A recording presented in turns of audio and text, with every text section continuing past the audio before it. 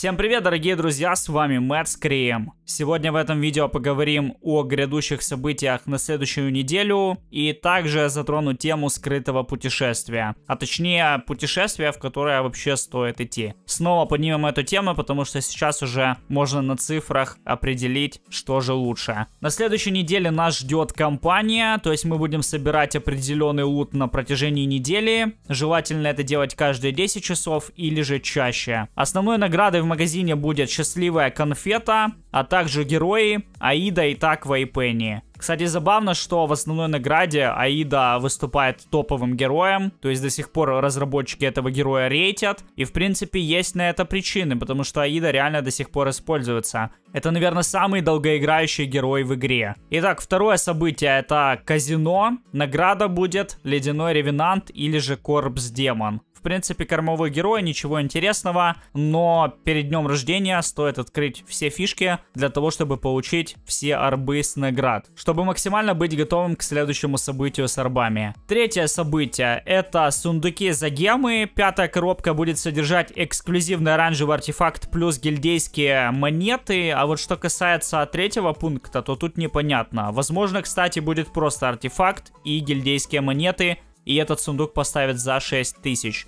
Что касается второго и третьего, то там будут содержаться материалы монстров. В общем, подробнее по этим сундукам пройдемся уже ближе к пятнице. И также еще одну неделю у нас будет продолжаться событие мастерская Ормуса, в котором мы можем прокачать донатерские артефакты. По событиям все, и сейчас бы хотел еще раз поднять тему с путешествиями. Значит, это аккаунт Калича, и здесь конец путешествия, как вы видите. Я вернулся из э, шестизвездочного путешествия, самого обычного, вот на шестизвездочную болванку Альянса. И куда же теперь стоит идти, так как корабль шестого уровня, это означает то, что двигатель уже максимальный, смотрите.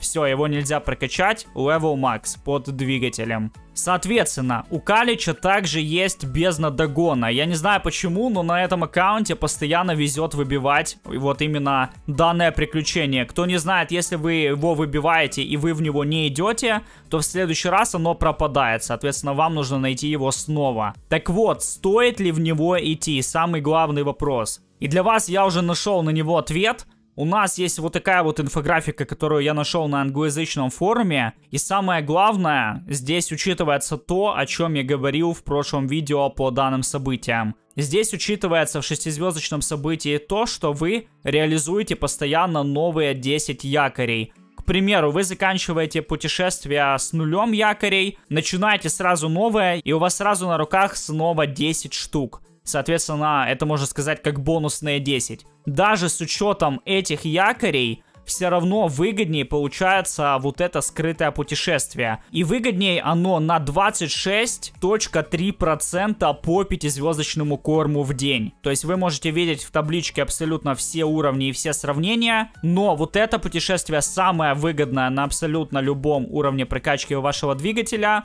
И также обычное девятизвездочное путешествие, которое откроется у вас на 10 уровне, оно будет выгоднее, чем обычное шестизвездочное. Здесь мы сейчас не затрагиваем тему путешествия на болванку света и тьмы шестизвездочную, так как они самые невыгодные по корму, но вы можете таким образом очень хорошо набирать корм света и тьмы. Это может пригодиться людям, которым, соответственно, этот корм нужен для того, чтобы не тратить арбы в эту фракцию, так как там супер маленький шанс. И также уже на практике я сам лично проверил, что вот эти якори, которые даются на обычном шестизвездочном задании, их не всегда удается реализовать как нужно. То есть вы не всегда оканчиваете с нулем якорей и потом набираете сразу 10 автоматом. Обычно вы там идете спать, у вас набираются снова эти якори, вы приходите, заходите в игру, и по факту вы никакого бонуса толком не получаете.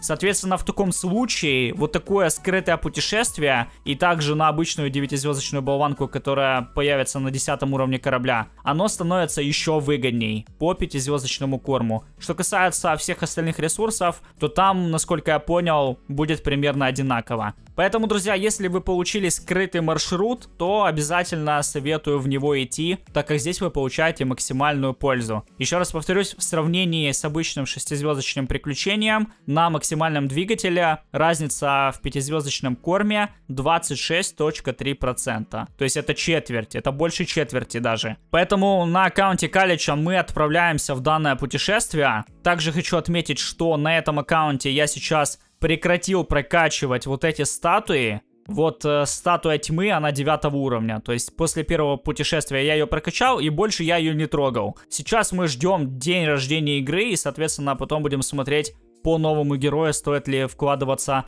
в статую света на скорость. Так как это очень важно, и сейчас не стоит распыляться. Давайте используем 10 якорей, посмотрим, что у нас тут будет.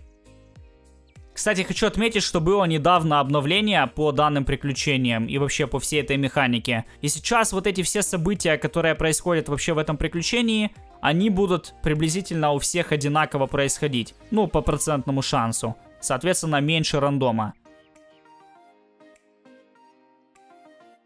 Итак, нападаем. Ускоряемся точно так же в этом путешествии. Кстати говоря, вот такие ускорения дают 0.66, потому что некоторые думали, что также в самом большом путешествии будет добавляться 2 с чем-то, но это не так. Но в любом случае это все выгодно, друзья. Как я и сказал, здесь мы получаем больше пятизвездочного корма в сумме. Но единственный минус, который приобретают игроки, которые, к примеру, пвпшатся, это то, что вы будете прокачивать медленнее статуи. Но так как я сейчас здесь ничего не качаю, соответственно, это нам не особо помеху создает. К дню рождения игры мы должны вернуться. В общем, друзья, всем огромное спасибо за просмотр. Поддерживайте лайком, если было полезно. Пишите, что вы думаете по этому поводу в комментариях. И подписывайтесь на канал, чтобы ничего не пропустить. Увидимся в следующем видео.